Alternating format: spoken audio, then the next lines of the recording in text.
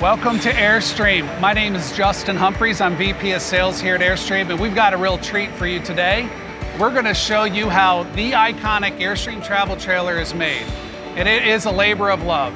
It's a handcrafted product that's endured 90 plus years of being on America's roads. And for those of you that have visited our factory before, you'll notice it looks a lot different, and that's because it is. This is a brand new factory that we opened in 2020, so many of you haven't had a chance to see it. But one thing you'll notice right away, it is a lot bigger.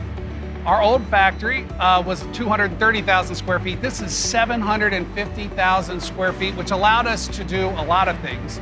Not only can we build some more travel trailers, but we also were able to bring in a lot of quality equipment that we weren't able to before because now we have the floor space to do it.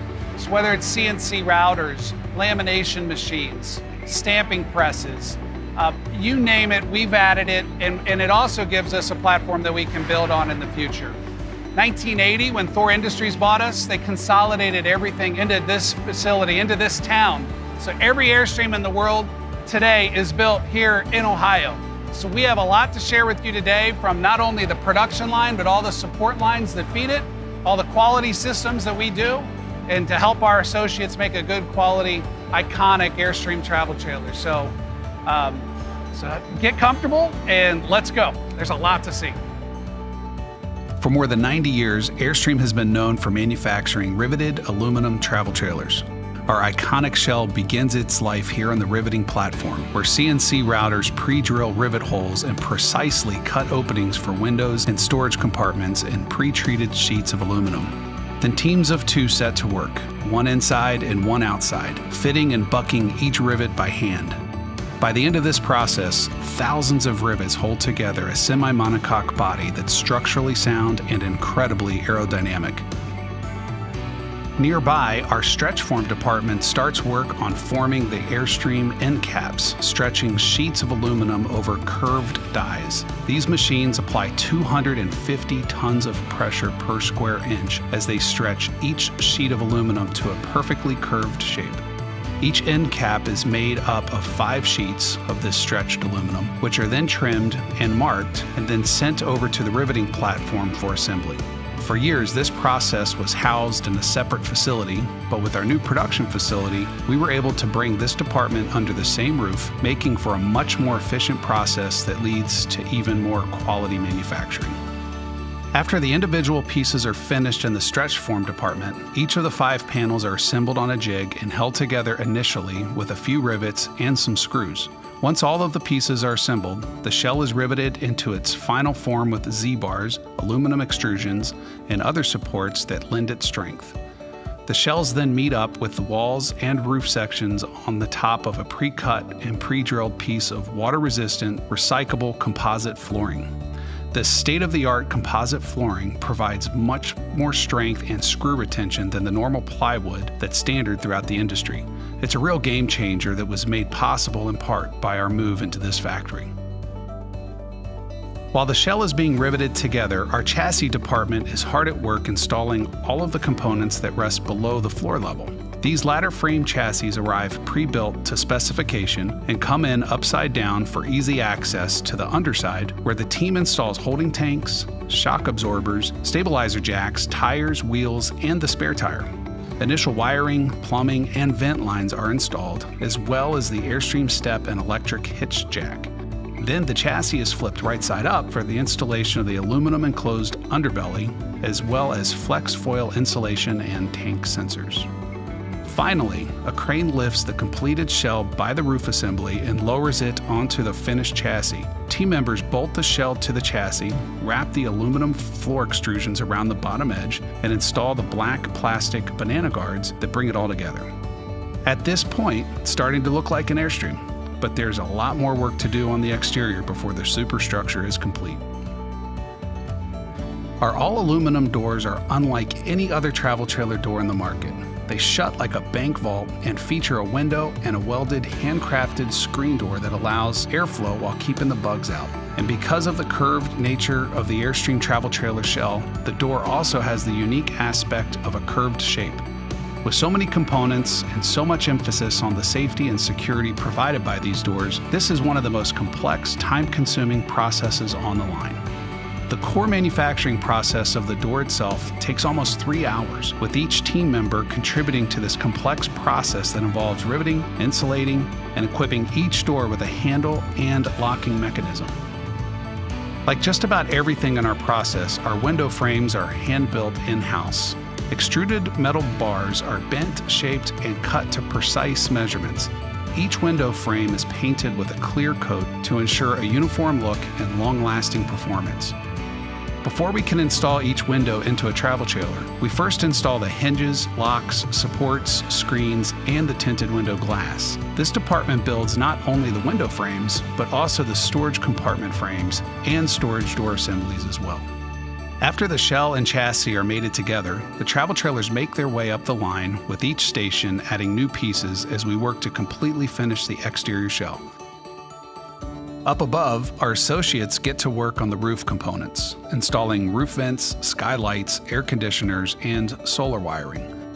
Inside the shell, we install the furnace and lay residential electrical wiring throughout each unit, with 12 volt and 110 volt wires separated to reduce voltage bleed through. As we get closer to water check, the final exterior components are installed, like our Zip-Dee awnings, stone guard, and front window guards, and the rear bumper. At this point in the process, the unit is completely enclosed and the aluminum superstructure emerges. Before we send it down the line for insulation, appliances, and furniture, every Airstream undergoes a high pressure water test. Inside our water check bays, wind and water blast each trailer for about 25 to 30 minutes while a team member inside looks for leaks. On the rare occasion that we find a leak, we send it back for repair and then test it again. Some other brands let the customer be the first to test for water leaks. We couldn't stand behind our product unless we did everything in our power to make sure it's 100% ready for its first journey.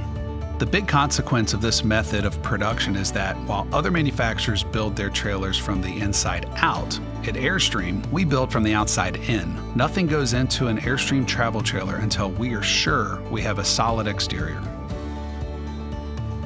Once the trailer has successfully passed its water check, insulation and the Airstream QuietStream AC ducts are installed, and work on the interior shell begins. We hand cut each piece of insulation which allows for less waste and more coverage.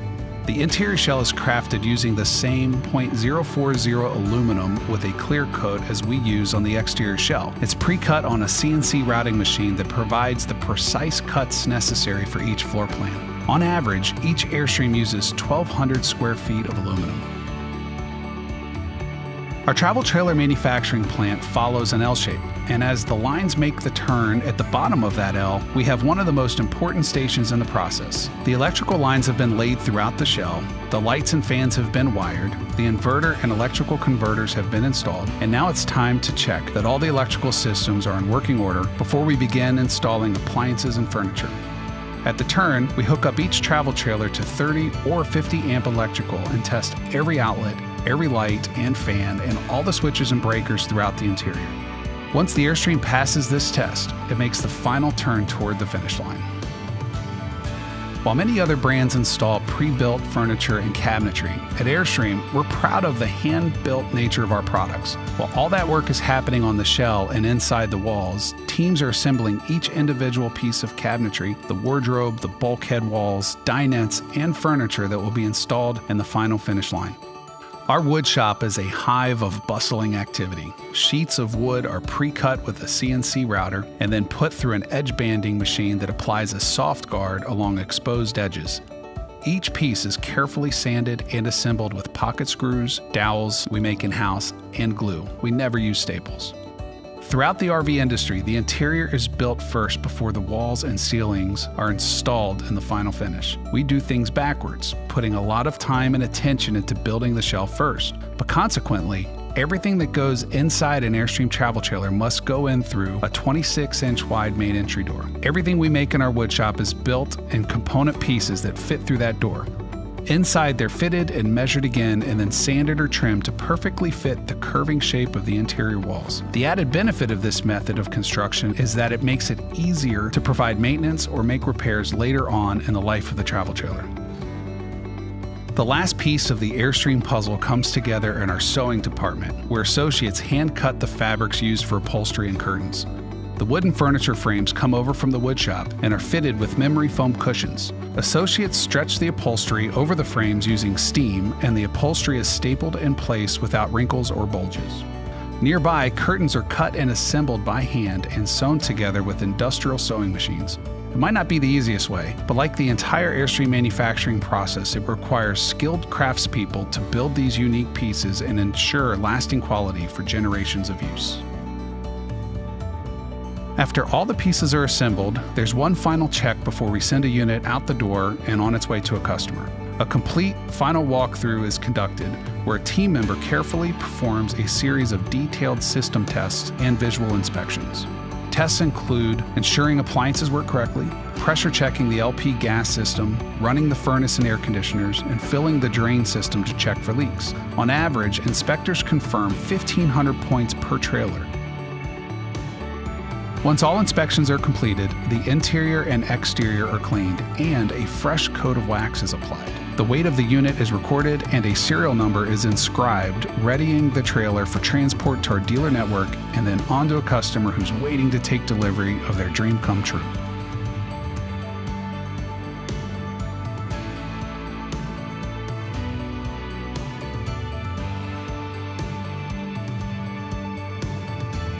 Well, that is the end of our tour, and I just want to thank you for coming along with me and walking through this entire process. And I think everybody can agree that the Airstream hasn't changed much in 90 years that we've been building it. And as you can see, it's a labor of love. It is built by true artisans, true artists that put this thing together. But what this factory has allowed us to do is to add some tools and some technology to help them build these things even better, even with more quality so that you can enjoy your Airstream for many, many, many years. So whether you're dreaming of one day becoming an Airstreamer and you came along to see how these are built, or you're currently an Airstreamer enjoying many adventures today, we thank you for coming and we hope you can see this in person one day uh, during our factory tour. So thank you very much.